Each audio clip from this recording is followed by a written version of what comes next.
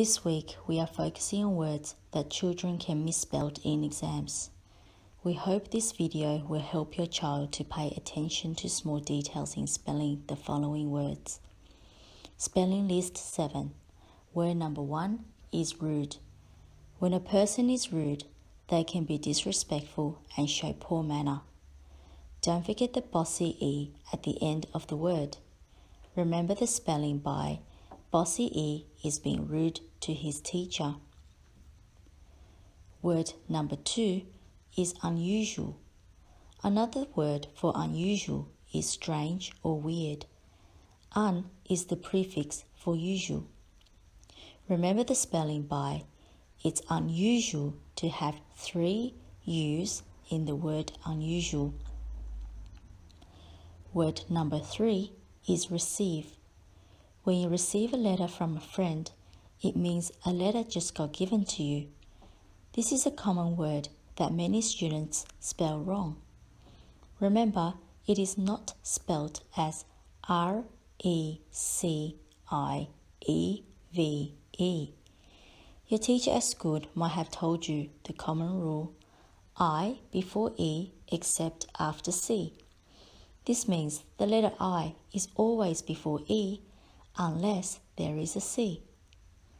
The other way you can remember the spelling of this word is by the sentence, I've finally received the letter from my friend.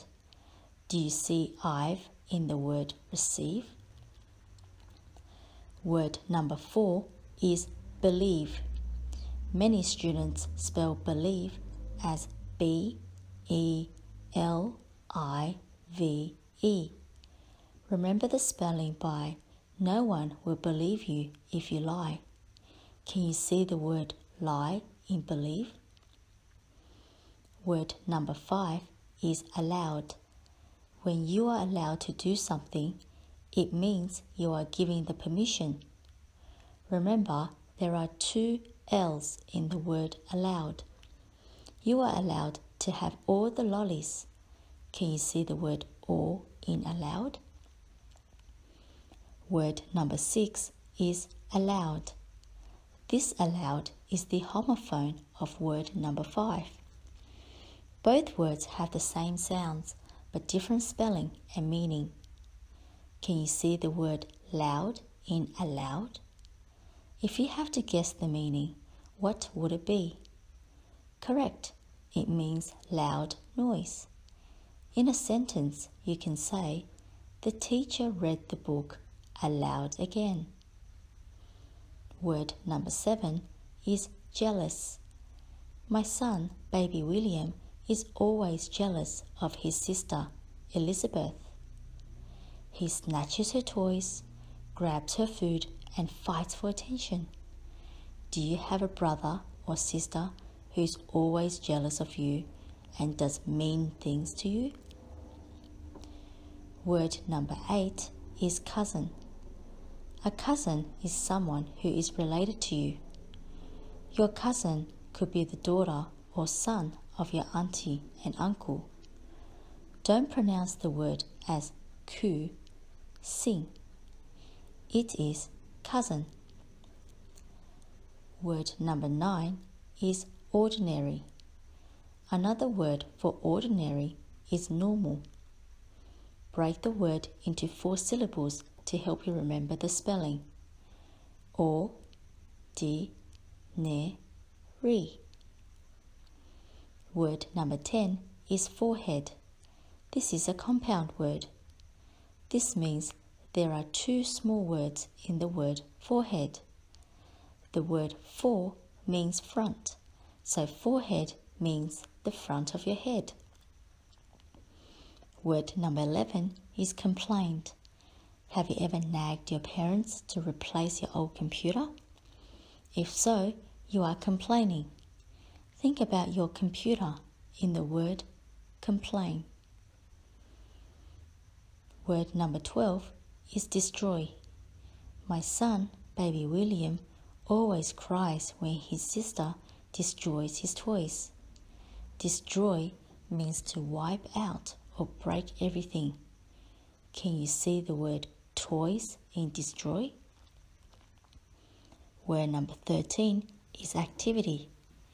When you are doing an activity, it means you are doing an exercise or a job. Can you see the word act in activity? An act is a movement. Word number 14 is adventure. An adventure is a journey or a venture. For example, baby William always wanted to go on a sea adventure to hunt for sea creatures. Can you see the word venture in adventure? Word number 15 is imagination. To write an interesting story, you have to have imagination, which means creativity. Imagination contains the word image, which means picture. You have to paint a picture for the reader by using your imagination. Word number 16 is disappointed. Disappointed means upset. Stephanie is disappointed that her students didn't bring two pencils to her class. Remember, there is only one S, but two P's. This means there is only one Stephanie who is asking for two pencils. Word number 17 is impatiently. Impatiently means irritation or with annoyance. If you break the word up, you can see I'm patient. However, you won't be patient if something or someone badly annoys you.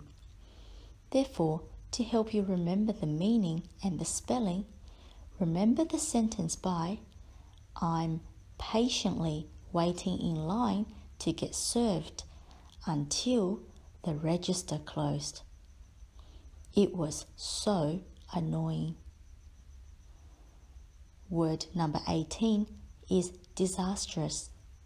Disastrous is the adjective for the word disaster. An earthquake can be a disastrous event. Word number 19 is catastrophic. Catastrophic is the synonym for the word disastrous. A bushfire is a catastrophic event because it is a disaster. Break the word into four syllables to help you remember the spelling cat, ass, tro, fic. Word number 20 is twinkling. Twinkle, twinkle, little star, how I wonder what you are. Do you know this song? This song is about the stars twinkling or shining in the sky. When the stars are twinkling, they are also winking at you. Can you see the word winking in twinkling? Word number 21 is barbecue. In Australia, we love having a barbecue on a sunny weekend. That's when we cook sausages and steaks outdoors on a rack over an open fire. The abbreviation for barbecue is BBQ, so many students spell barbecue as B A R B E Q U E. Remember, there is no food that starts with Q to be placed on a barbecue. Word number 22 is buffalo. A buffalo looks like a cow except it is more vicious. A buffalo has two horns, so remember that it has two F's. Word number 23 is subtract. In math, subtract means take away. If you subtract or take one apple from the three apples, there will be two apples left. Word number 24 is minus. Minus is the synonym for the word subtract. 3 minus 1 equals 2. Word number 25 is adjective. An adjective is a describing word. We have been focusing on descriptive writing this term. I have asked many of you to apply adjectives to describe nouns. In class, we looked at a description of a toy clown. The clown was wicked and fearsome.